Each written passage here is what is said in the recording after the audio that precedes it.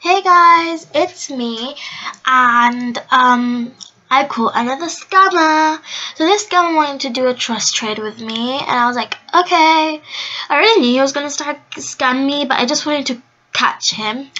So I'm giving him my legendary metal ox, and he's trust, and I'm trusting trusting him.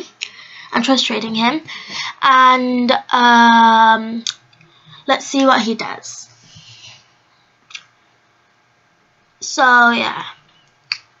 And also guys, please report him. Um, I know I can't see his name that clearly. But yeah. So and I was like, give back, give it back, and then he was like, bye. And he left. So, um yeah, I lost the legendary pet. For a second I actually thought that he wouldn't scam. Because I didn't actually tell him I was recording before the video. And yeah, it's another scammer. So yeah. And this is actually on my old account. So yeah. And please report him. Don't forget to join the Walrus, Walrus giveaway. All you have to do is like, subscribe, and comment down your Roblox username. And that's all. Bye, unicorns!